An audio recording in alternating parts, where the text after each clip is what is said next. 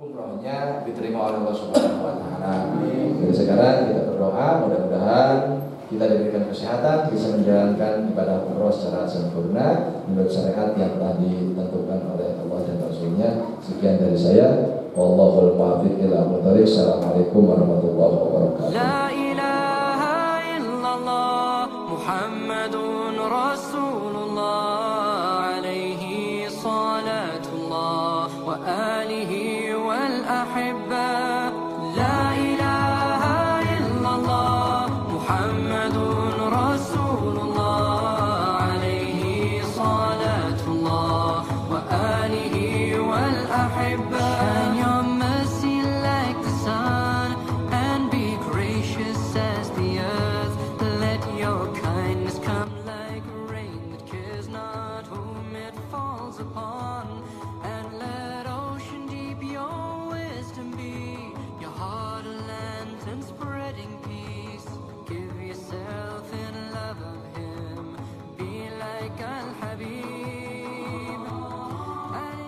Besoknya setiap tiga hari di sana kita bersiap-siap untuk ke Makkah melaksanakan umroh.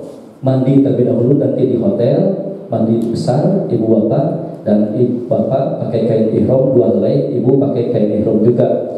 Untuk ibu-ibu yang kelihatan itu muka, wajah sama telapak tangan.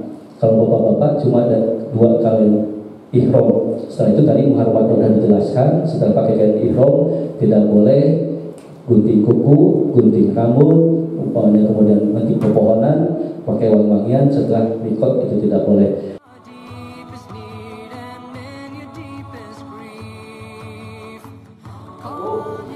lipat ke kiri, lipat ke kiri, dan lipatkan lagi ke kanan.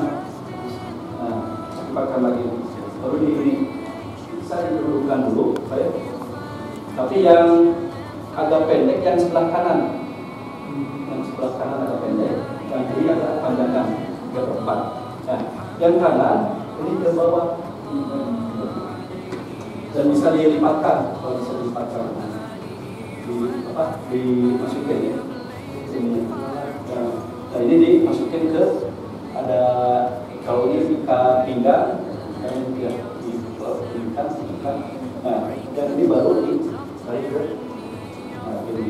dia atasnya jadi bahu yang kanan yang kelihatan yang ini kan untuk istilah untuk ini penjelasan labbaik Allahumma labbaik لبيك لا شريك لك لبيك إن الحمد والنعمة لك والملك لا شريك لك